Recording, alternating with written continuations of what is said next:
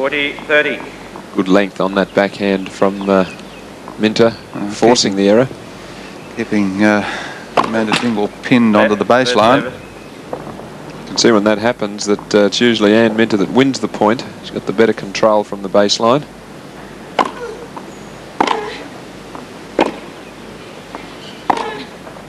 Like so. Game. Miss Minter. Miss Minter leads two games to one.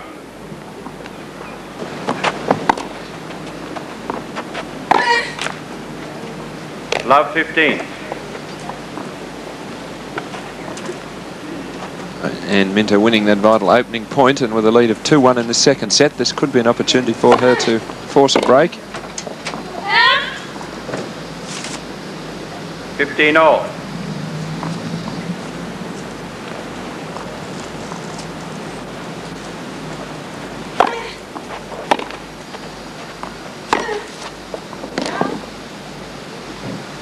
Fifteen thirty. Dingwall continuing with her uh, game plan in the second set anyway of attacking, just over hitting that forehand.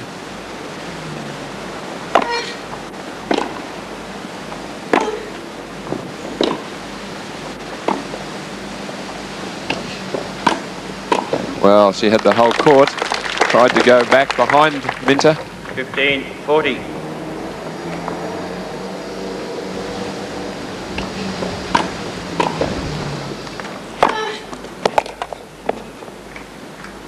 forty. Thirty forty.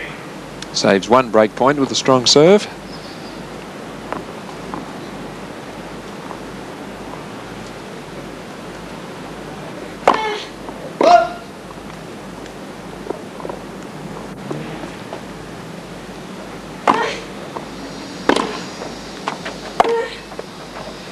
Oh, that ball kept very low. I think it was a double bounce. Game. Was called as a point for Ann Minter, I think it was a double bounce, which she... Deuce. Yes, the ball... Eh? Deuce, game, deuce. It's deuce. Well, Noel Kirkby is the point. giving the point to Ann Minter. deuce. Now he's uh, changed the, the ball bounced twice as it hit the service line, kept very low.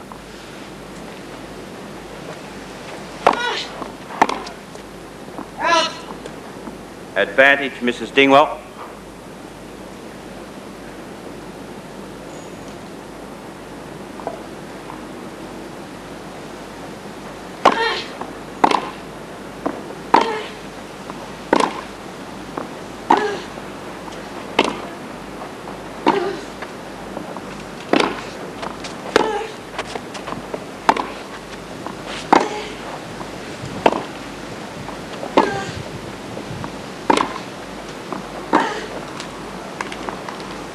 Deuce. Again, Minter proving the uh, steadier in the baseline rallies.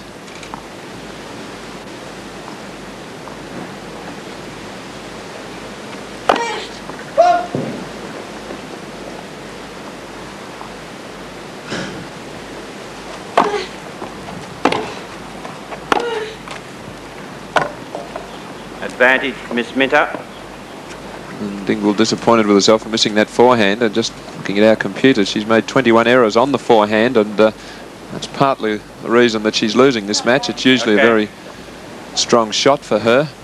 The fact that she's made 21 errors is an indication that uh, her best shot is letting her down today.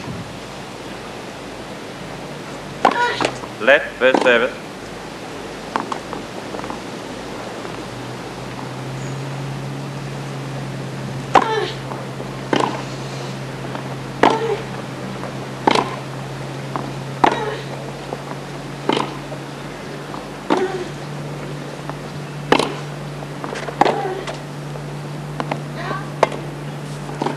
Game, Miss Minter. She leads three games to one. Second set. So the first uh, break in the second set going with the defending champion Ann Minter, really playing very solidly from the baseline, setting up a lot of points with her forehand, and on the hand, the forehand of Amanda Dingwall letting her down.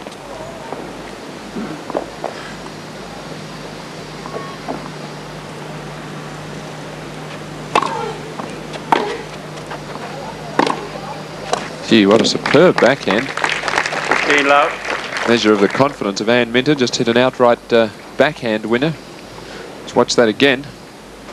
Early preparation, steps into the ball, drives it down the line.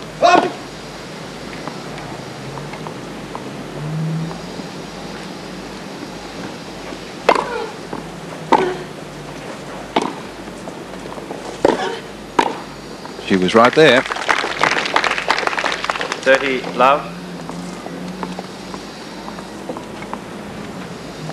Here it is again. Minter right at the net for the volley.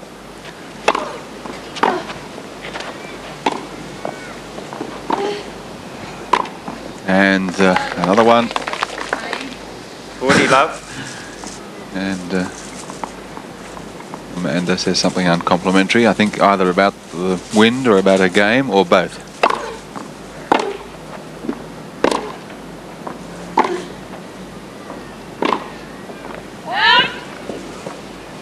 Forty fifteen.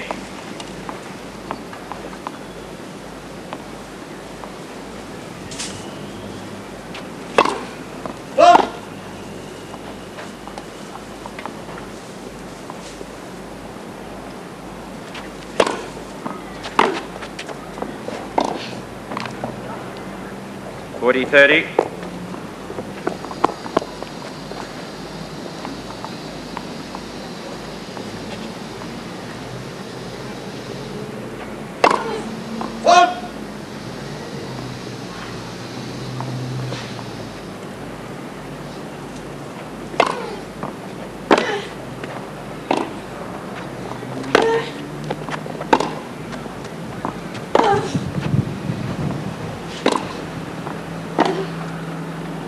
No, careless. Strong Yeah. position now for Minter. Miss Minter. Miss Minter leads four games to one. Girls a bit quick on the changeover again, and we come back 15. with the first point. Just concluding. And not in favour of the server. Amanda Dingwall, love 15, and down 1-4 in the second set, having already lost the first by six games to three.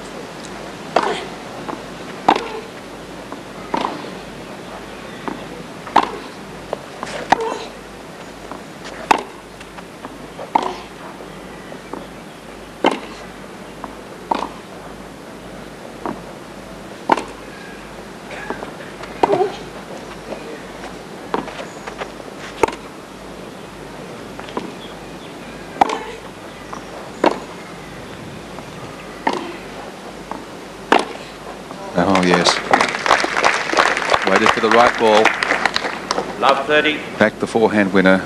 And Amanda, if she can't hold here and she's down love 30, is out of business.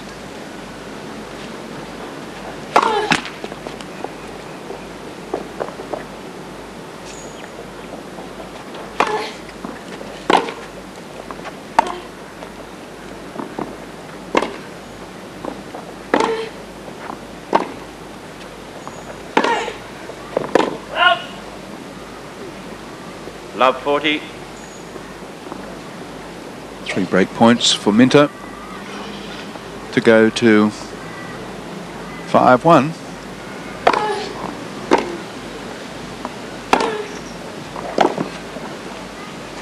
Just on the line. 15 40.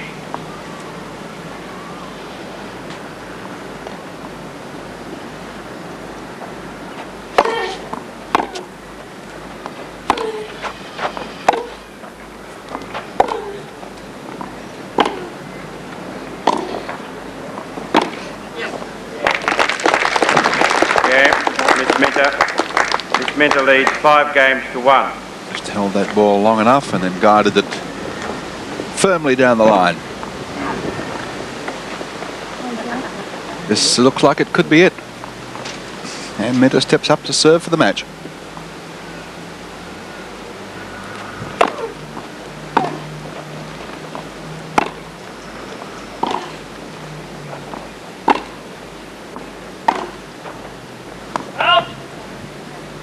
Fifteen love.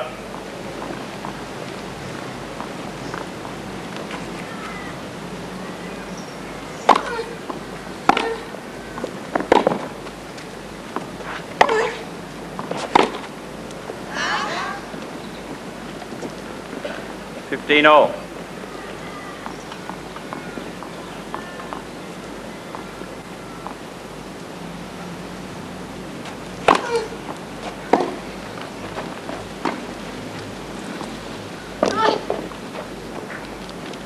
30 15.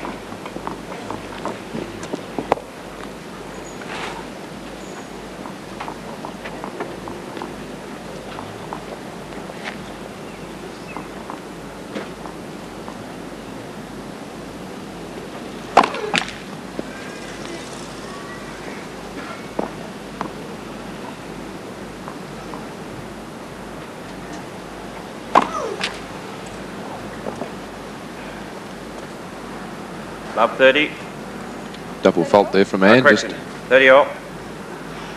just the process of serving this match out. She's only served two.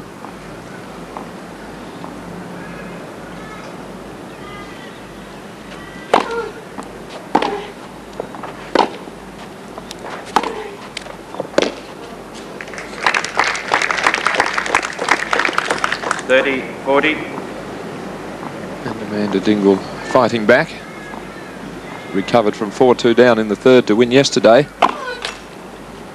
But the task much harder today. She's down 5-1, set and 5-1.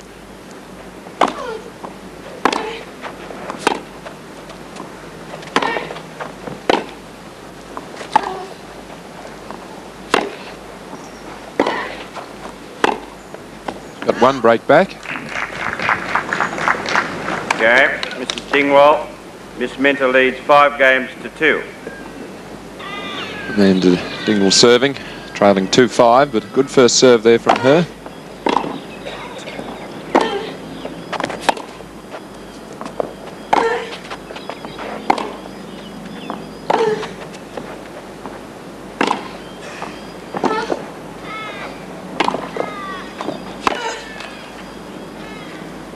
Fifteen all. Well, a good shot there of Amanda's footwork, or lack of it. She was very front onto the net there.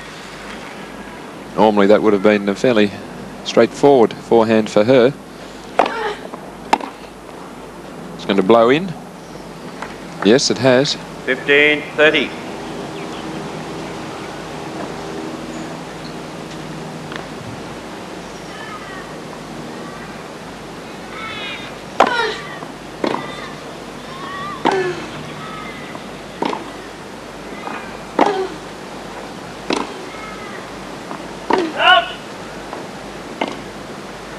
Thirty all.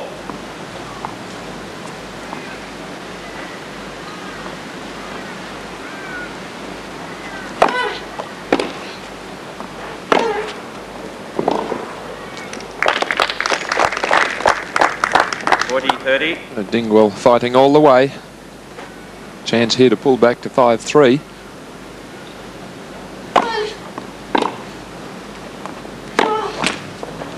And a lucky net cord Game. helps her do just Mrs. that. Dingwall. Miss Minter leads five games to three. Well, the first couple of points in this game now are vital. And Minter will no doubt be thinking that uh, at 5-1, she should have had the match wrapped up. Couldn't do it then, dropped a serve. It's now 5-3, so it's starting to tighten up a bit.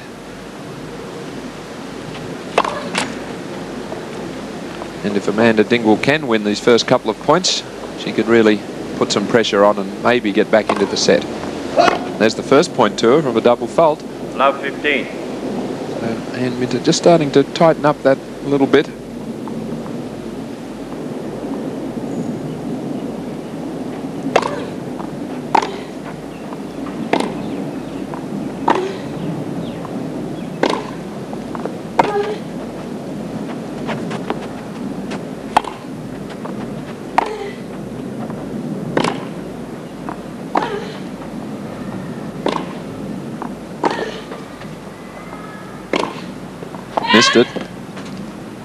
Love 30. Well, now this is interesting.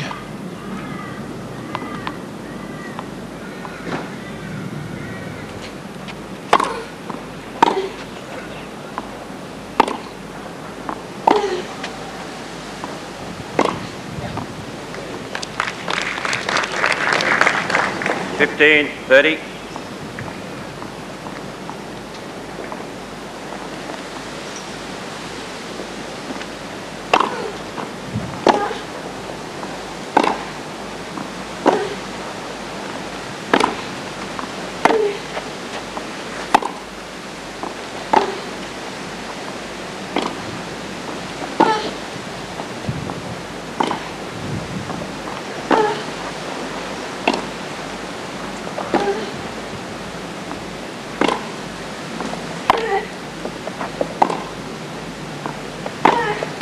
Too much. 30 all.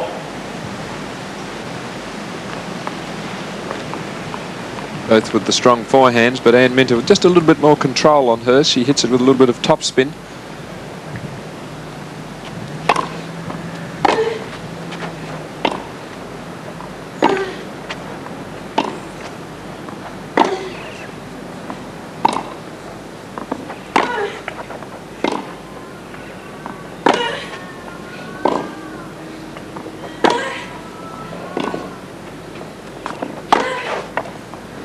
Yes, third time lucky.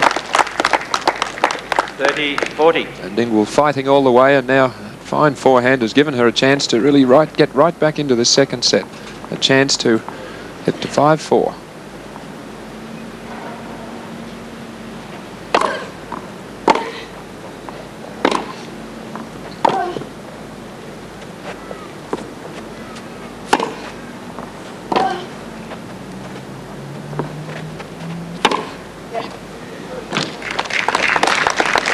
Deuce. Well, good play under pressure there by Ann Minter. She didn't uh, waver there. Had the opportunity to force the winner and she went for it regardless of the fact that she was down break point.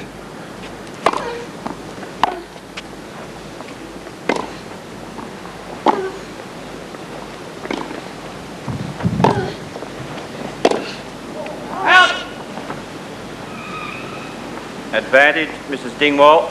Rush that uh, attempted backhand passing shot though, really straightened up quickly on it. Pulled it wide.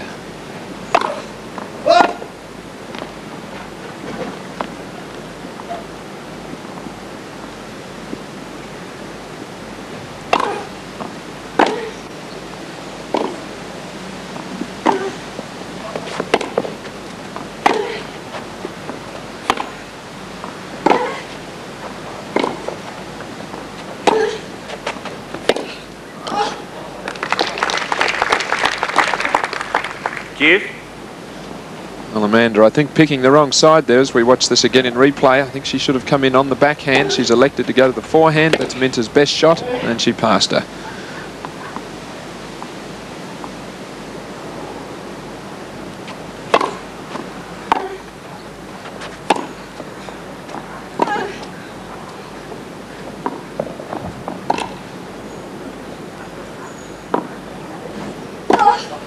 Well, what a bounce. That was just perfect lob. Advantage, Miss Minter. Ann Minter landing so close to the bounce, uh, baseline, then bouncing up so high that uh, Amanda Dingwall just couldn't control it. So match point for Ann Minter.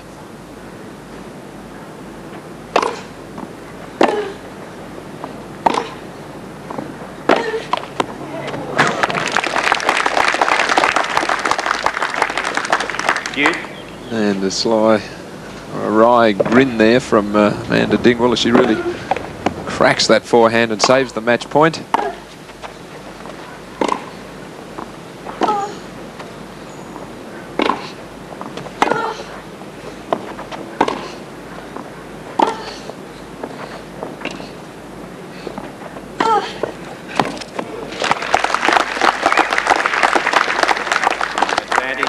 Dingwall. Boy, she's a fighter.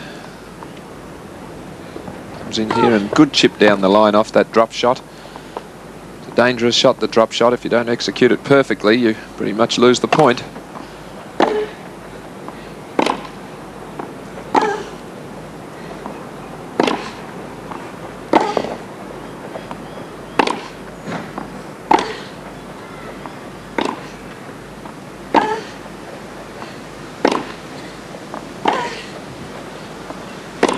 Yeah, set the point up well.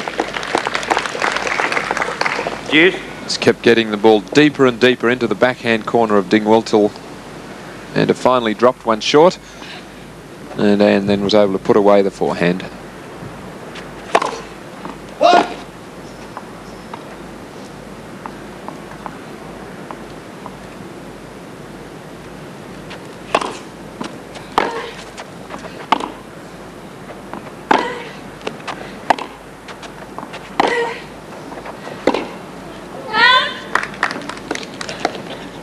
Advantage, Mrs. Dingwall. Fourth breakback opportunity for Amanda Dingwall. She really is a great fighter.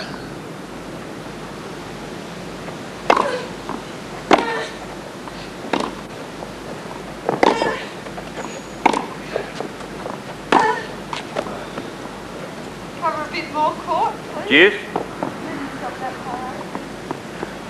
Oh, a strange shot there. Trying to slide that ball down the line.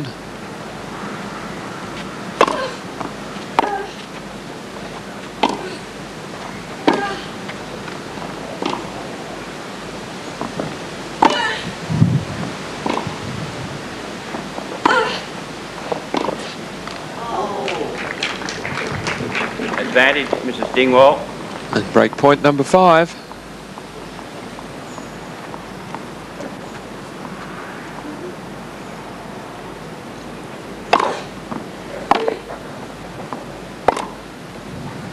And this time she's got it. Game. Dingwall. Miss Minter leads five games to four. And Amanda Dingwall returning to the court. It's been a great fight back from her. 5-1 down to 5-4. Her own service to follow, so she could tie up this second set. And Minter, I think the point that started her downfall as far as this comeback was concerned was she led 5-1, 30-15 and double faulted on that point. 15 love. Seems to have become a bit more tentative since then.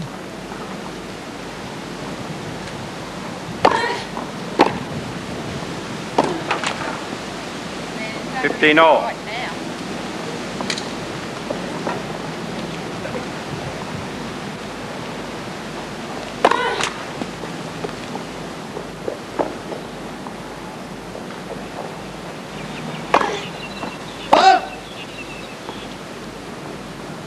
Right now. Fifteen, thirty. Well, just when it looked like Amanda Dingwall was really going to get back into this match. Two unforced errors, a forehand and a double fault. Perhaps she's started to think about the fact that she has a chance.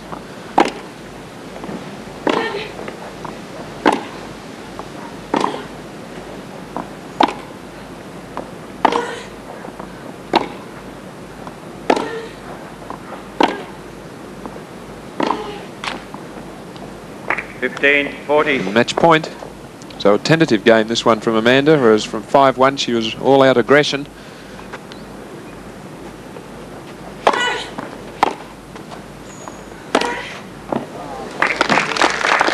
Like that. 30, 40.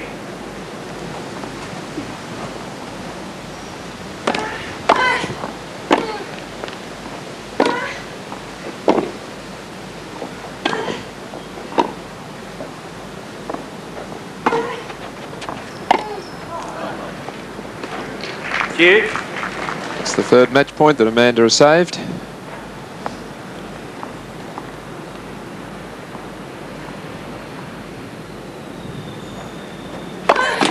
Left, first service.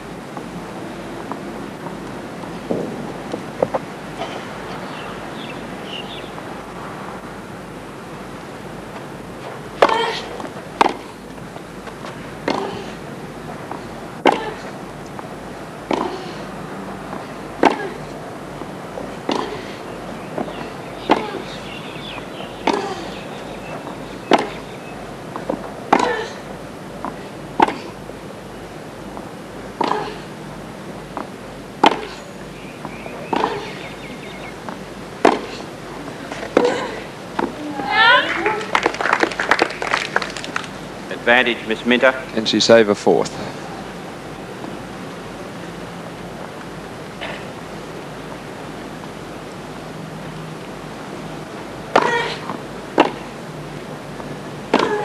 No, she can't. Okay. That's the championship to Ann Minter. Left. Match. Miss Minter. Two sets to love. 6-3, 6-4. Thank you, linesman. Thank you, ball boys. It's by Ann Minter to successfully defend her Australian Hardcourt Championships. Got off to a shaky start early in the tournament. She was down 4-1 in the third set in her first round match. It got better and better as the tournament progressed and straight sets victory today over Amanda Dingwall, her opponent in last year's final. And apart from the start where she was down 2 love, she was really uh, never in any doubt of winning her second successive title. Well, I think all is in readiness for the presentation of the trophies. Let's cross courtside to Gary Wilkinson. So the battle of the uh, forehands resolves itself in favour of Ann Minter over Amanda Dingwall for the second year running, in fact, in the Australian Hardcourt Championship final. It's now my pleasure to introduce to you the President of the New South Wales Tennis Association, Mr Jeff Pollard. Thanks, Gary. Distinguished guests and ladies and gentlemen, I think the Lawn Tennis Association of Australia and all supporters of Australian tennis would be pleased to see an, an Australian title